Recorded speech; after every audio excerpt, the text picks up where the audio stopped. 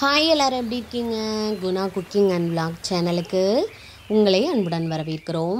இன்றைக்கி ஒரு சூப்பரான ஒரு டிப்ஸ் தாங்க உங்ககிட்ட ஷேர் பண்ணிக்க போகிறேன் என்னன்னு பார்த்தீங்கன்னா வீட்டில் இருக்கிற பழைய புடவையை வச்சு பெட்டுக்கு எப்படி உர தைக்கலாம் அப்படின்னு பார்க்கலாம். ஏன்னா பழைய புடவை கட்டிட்டு கீழே அடிப்பகுதியில் வந்து ரொம்ப ஒரு மாதிரி நஞ்ச மாதிரி இருக்கும் இல்லையா? அதுக்கப்புறம் அது கட்டினாலும் அசிங்கமாக இருக்கும். அப்படி புடவையை நீங்கள் வேஸ்ட் பண்ணாமல் நம்ம வீட்டில் இருக்க பெட்டுக்கு நம்ம உர செஞ்சு நம்மளே தைச்சிக்கலாம். இப்போ எப்படி செய்யலான்னு பார்க்கலாம் வாங்க. இப்போ புடவையை வந்து ரெண்டாக இது மாதிரி விரித்து வச்சுக்கோங்க. ஒரு பக்கம் க்ளோஸாக இருக்கும். ஒரு பக்கம் வந்து ஓப்பனில் இருக்கும். இது மாதிரி நீங்கள் விரித்து வச்சுக்கோங்க. இப்போ நம்ம இந்த ஒரு பகுதியை வந்து நம்ம தச்சு எடுத்துக்க போகிறோம் இப்போ நான் காமிக்கிறேன் இல்லையா? அதான் எந்த பகுதினாலும் ஓகே தான். ஒரு பகுதியை நம்ம தச்சு எடுத்துக்கலாம். உல்டாவா புடவையை திருப்பிட்டு தைச்சிக்கலாம். நீங்கள் அந்த பக்கத்தில் இருந்து தைச்சிங்க அப்படின்னா இந்த பக்கம் லைட்டாக விலகிறதுக்கு வாய்ப்பு இருக்குது அதனால் ஓப்பன் பக்கத்தில் இருந்தே நீங்கள் எடுத்து வச்சு நீங்கள் தைச்சிக்கோங்க. மிஷின் இருக்குது அதனால் தைக்கிறோம் அப்படின்னு நீங்கள் யோசிக்க வேணாம். கையிலேயே ரொம்ப அழகாக தைக்கலாம்.